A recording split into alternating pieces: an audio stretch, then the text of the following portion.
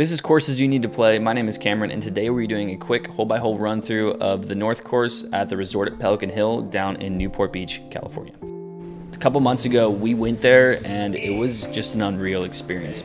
After we got checked in, we had to be pretty quick because we had a tee time there in the next 30 minutes. So we headed over to the range, got some shots in at the amazing practice facilities that they have there, and then it was off to hole number one. Doesn't get much better than that. Hole number one starts you off with an incredible view of the Pacific Ocean that lingers with you throughout the rest of the course. Nice work, gents. Here on the green of the first hole, you can see us using our new Evnroll putters that we got that morning. Uh, shout out to Evnroll. Moving on to hole number two, it's a par three, just real quick over this little canyon.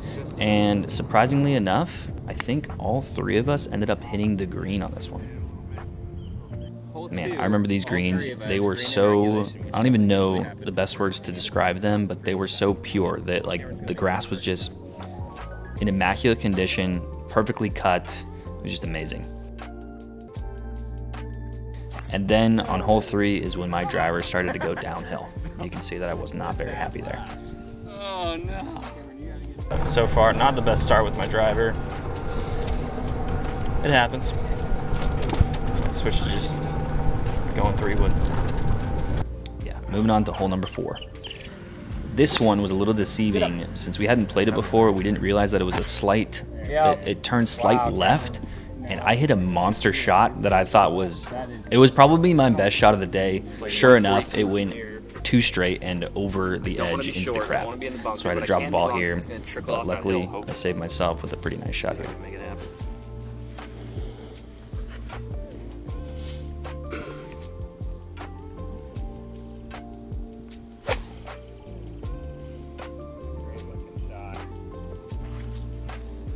And again, just man, these views, you either get them looking at the hole or coming away from the hole and you just if if you don't see it, you should turn around because you'll get an amazing view as you do. On hole number 5 here from the green, you can see actually Newport Beach at the the city itself and it, again, I can't say enough how many great views you get on this the golf course. Side note, our tee time started around 12:20 and I think it was probably the perfect time because you get the sun at all different points during the round. As we're coming up here on this, so this is hole number eight, but we're going to be coming up here on hole number nine, heading to the back nine. The the sun starts to go down, and there's going to be amazing views of the sunset. Keep watching. This is hole nine. You got to be careful hitting driver here because it it gets really narrow down in the little gully there, um, and so you got to be very accurate with the driver. I lost my ball, but I believe Bo and Noah were able to find theirs. I'm gonna go ahead and pass it off to Noah, and he's gonna run you through the back nine. Okay, let's get into the back nine. The first thing I remember thinking is the views could not possibly get any better, but they absolutely did. Here's us teeing off on the 10th tee. Uh, the ocean's on our back here, so so you can't see it, but you can kind of see it here with Bo talking. He's referencing, I found myself in a bunker here.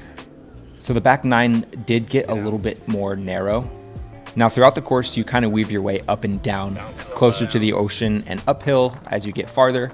Um, here you can see us making our way back down as we get closer. The par threes on this course were all incredible. Everyone was so much fun to play. Come around. We're in the same spot, Cameron. Pelican Hill was definitely hilly. There was a lot of undulation and not a ton of flat lies if you missed your fairway, uh, the ball was going to be below or above your feet most likely. So this is hole number 14 and it was my favorite hole of the entire course. Wait until you see the views from the green on this one. This one was a relatively forgiving fairway and gave you the perfect approach shot to have an opportunity for birdie. I have to say my overall favorite thing about this course was the fact that every green had an incredible ocean view. It seemed like we were putting on the water almost every time we were putting.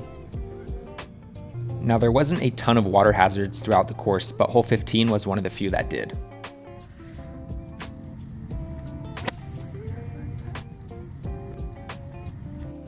Again, just more incredible views when you think you haven't had enough.